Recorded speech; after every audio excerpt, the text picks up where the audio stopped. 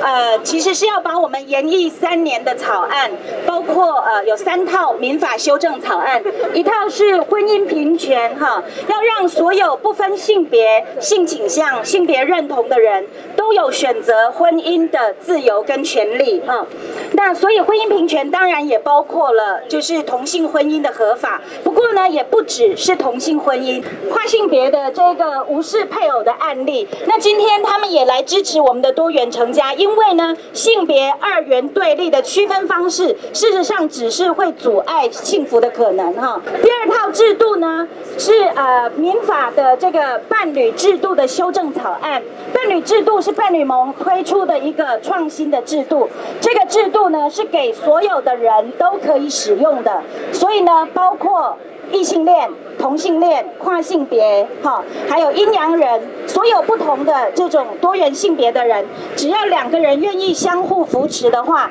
都可以签订伴侣契约，哈。然后第三套制度呢是家属制度，家属制度呢是把我们民法第六章加这一章，就是旧酒装新瓶，哈，让非亲属的团体，所以是包括两人或两人以上，譬如说病友团体、有伴家庭，哈。还有一些灵修团体等等的，他们呢，如果有共同生活的意愿，也能够去登记为家属，彼此在生活上作为呃代理人，然后互相照顾哈。我跟我的伴侣在一起已经十四年了，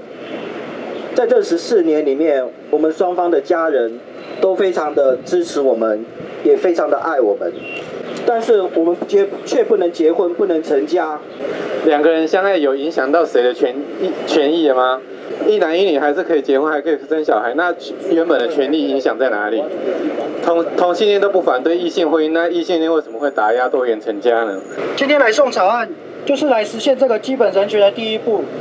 我不认为有任何人可以利用他的宗教信仰来评断别人。的婚姻或者是家庭，最希望孩子能够结婚的就是我们。大部分的爸爸妈妈都是异性恋，我们要特别强调，我们跟一般异性恋的夫妻没有什么两样。今年我结婚三十年了，所以我们最了解婚姻的意义跟价值。而且呢，我们要特别强调，很多人不不了解同志是从哪里生出来的，就是被我们这些普通的异性恋的爸爸妈妈生出来的。所以呢，所有的异性恋的父母亲。你都跟我们有一样的机会，就是每一个孩子都有十分之一的可能是同志。我们跟别人并没有什么不同，我们的孩子也跟别人没有什么不同，所以他们当然应该可以成家，当当然可以用任何多元成家的方式成立家庭，建立自己幸福的乐园，这是我们最大的期望。但是也不要忘记了，我是一个残障者，很多的残障者在社会的资源。以及在经济上的资源非常非常的匮乏，在这种情况之下，很多的残障者想要去成家立业都很困难，在追求伴侣的过程当中，因为身体的部分，因为经济的部分，与家庭都隔隔绝了，所以我觉得今天在今天这个多元成家的法案里面的所谓那个多人家属这一块，其实对台湾的残障者而言。非常非常的重要，让很多的残障者在老年的时候有一个伴，他们可以组成一个家庭，不要再孤苦伶仃了。那如果都是爱，为什么只有你的爱才是爱？别人的爱就变成异端，别人的爱就不能被容忍跟接受。所以我们愿意全力支持，请不要用选票来威胁我们。我们习惯当少数，我们也乐于当少数。我们觉得，在一个社会，真正民主政治的一个真正的价值，在于少数的意见能够被保护，应当要让少数的声音能够喊得最大声。生理的象征，呃，并不能够代表真正爱的结合。我的觉得心灵的结合，才是真正一个家庭稳定的基础。然后很愿意，呃，参与这个，呃，跨时代重要的一个里程碑的一个法案。的讨论过程，那么我想这个法案的过程可能会非常的艰辛，但是为了让这个社会每一个人都是平等的，每一个人都是被尊重的，我觉得这法案的推动是一个具有非常关键的历史意义。法律上如果继续独尊异性恋，如果继续独尊以婚姻为形式的家庭形式，那么这不是真正的民主。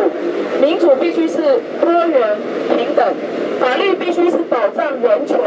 而不应该成为歧视的来源。所以，这不仅是一个合法化的运动，这是更是一个消除歧视的平权运动。所以，我知道这三套法案或许立委支持，目前的情况难易程度不一，但是我们有心理准备。我们在场所有的朋友都努力辛苦这么多年这么久。我们有心理准备，用最大的诚意来寻求最多立委的支持，寻求最多社会的支持。呃，我请我们的秘书长简志杰做一个象征性的仪式，把这个草案送给支持的立法委员，支持我们的多元成家草案。那其他的朋友，请跟着我一起喊口号，好吗？好，好，婚姻不止男女，婚姻不止男女，成家不限夫妻，成家。自由恋爱，平等成家，平等成家。那我们知道，今年三月二月底，呃，来到台湾的这个十位国际知名的人权专家，他们来审台湾的两公约的国家报告，在他们最后所做成的结论性建议第七十八点跟第七十九点，已经明白指出，台湾的法律现行法律只支持跟只承认异性恋婚姻。承认同性婚姻以及同居伴侣的关系，否定了同性伴侣还有同居伴侣许多的权利跟利益。这十位委员共同认为，这样子的法律建制是歧视性的，并且直接建议我国政府应该修改民法，承认多元家庭。像我们的草案立刻就被说成这个是乱伦合法化，我们的草案立刻就会被说成说这个是多批合法化。可是事实不是这样子的东西，但是他们。就是为了要反对我们的草案，然后就会做一些很可怕的这种台湾深层的某一种恐惧，会把它。教的保守的恐同团体，他们强调说我们的多元成家草案会造成所谓的毁家废婚，其实只是在操作一种恐惧的策略。也就是说，诉诸就是说，好像既有的伦理秩序会崩坏等等。但事实上，我们认为，如果有任何的东西会崩坏，事实上是所谓的异性恋霸权跟父权。我们社会已经有非常多的异性恋，他们因为种种因素而不结婚，选择同居。好，那伴侣盟的草案是给所有人用的草案，并不是啊给特定的群体用的草案。甚至我要说，这些反对者，他们每个人事实上也都有可能会用到我们的草案。好，没有关系，将来我们草案过了，他们也会是受惠者啦。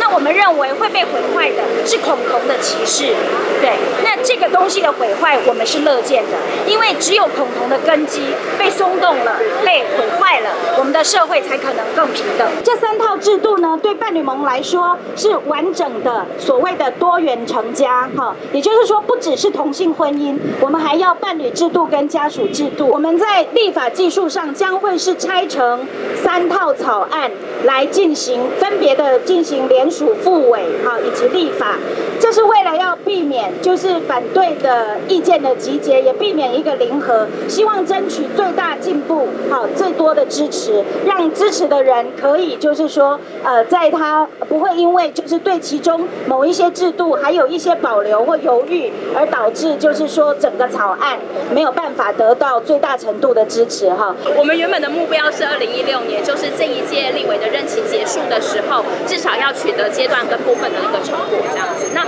我们会非常希望，至少三套法案中，其中有一套是能够完整的通过。是我们在游说的过程非常清楚的，就是婚姻平权是比较受到委员的理解跟支持的。对，然后很多的委员也会愿意告诉我们说，他们愿意签署、愿意联署是完全没有问题，因为他们理解这是一个平等的价值。对，但是伴侣制度跟家属制度比较是一个新的亲密关系的一个讨论的制度。那在台湾确实比较没有这么多的讨论跟这么多的理解的情况之下，他们认为确实可能还蛮需要社会的讨论。必须要承认伴侣制度跟家属制度，比方说在我们的媒体上面，甚至我们的群众上面站出来，就是愿意站出来说他们就是需要的这样子的这样子的人也比较少。老实说也是少一些。对，所以我们确实也还蛮需要，就是支持这样的制度，并且认为这样的制度非必要一定要通过不可的这些人，愿意赶快站出来，愿意赶快的来捍卫他们觉得比较好的一个制度。